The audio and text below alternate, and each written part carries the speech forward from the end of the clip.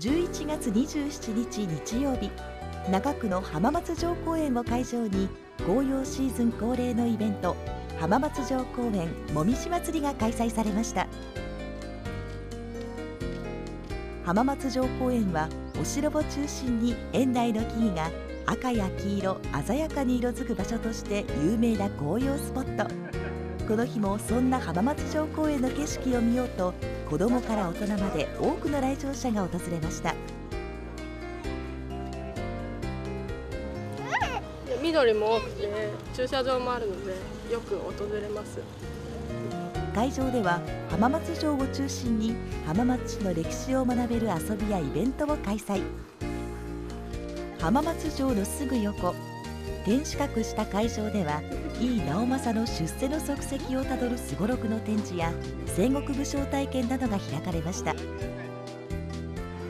芝生広場会場と浜松城公園駐車場ではさらに多くの体験イベントなどが開催。オリジナルのタコを自作して浜松祭りのようにタコ揚げ合戦ができるタコ作り体験や豊かな秋の実を使って自分だけの作品を作れるクラフト体験。草笛体験など大自然をメインとした体験コーナーが盛りだくさん。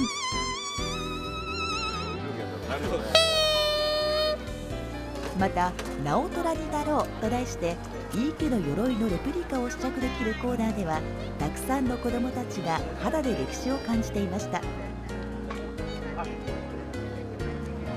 出世大名家康君と出世法師直虎ちゃんも駆けつけ会場は盛り上がりを見せていましたあ、ほんならお揃いなんだ。あ、お揃い。他にも愛宕の手すき和紙コーナーには多くの来場者が参加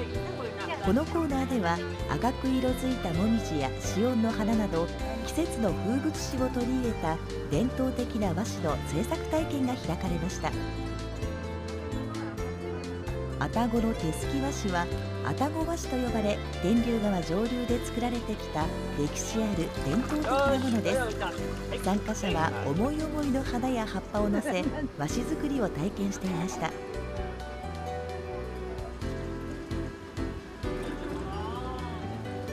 イチョウとか紅葉が綺麗でとても綺麗な写真が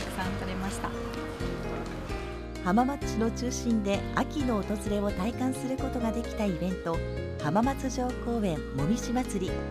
自然に触れ秋の魅力を存分に感じることができたイベントとなりました。